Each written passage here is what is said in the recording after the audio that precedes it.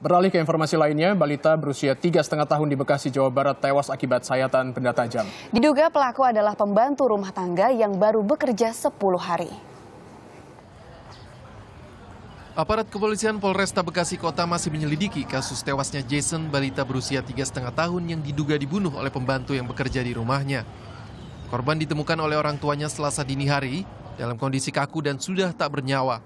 Saat itu kedua orang tuanya baru pulang bekerja kronologis kejadian uh, pada saat orang tuanya baru pulang yaitu sekitar uh, pukul 00.30 uh, langsung naik ke lantai satu eh lantai dua uh, di situ uh, sudah ter, sudah tergeletak anaknya uh, diduga sudah meninggal.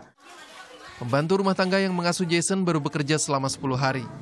Keluarga Jason mempekerjakan wanita yang diduga menjadi penyebab tewasnya Jason berdasarkan rekomendasi pihak keluarga. Hingga selasa sore, polisi masih mencari tahu identitas keberadaan sang pembantu rumah tangga. Triswanto melaporkan.